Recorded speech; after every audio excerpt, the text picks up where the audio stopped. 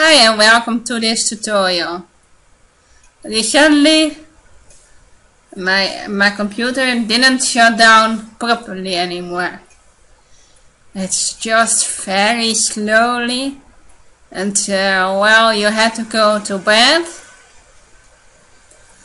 and leave the computer uh, while shutting down because it was taking that so that long so, but I found a solution for it.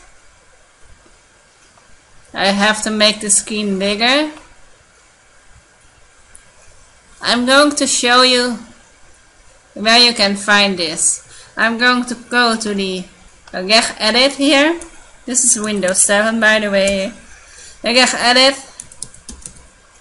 This is how you come in to the Windows registry. The Edit you click yes. And well we're going to start from the beginning. Computer. You have to go to uh, look for your HKEY local machine here. And then you have to look for system. And then the contour, contour the current control set then you click on control. And then you have to find session management. Session manager. Here. This is the session manager.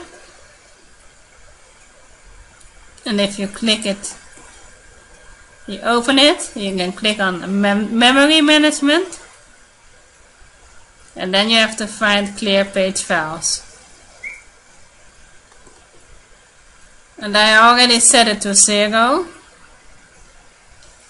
Because it was the, the, the it was one but it's now zero. And this made my computer shut down properly because it was taking very slowly. It was taking like a couple of minutes and even more than a couple of minutes to shut down. With this it shuts down really quickly and seriously no more irritations when shutting down. I hope this fix will work for you as well and I hope you like this tutorial and I hope you will come back to my channel soon. See you back next time.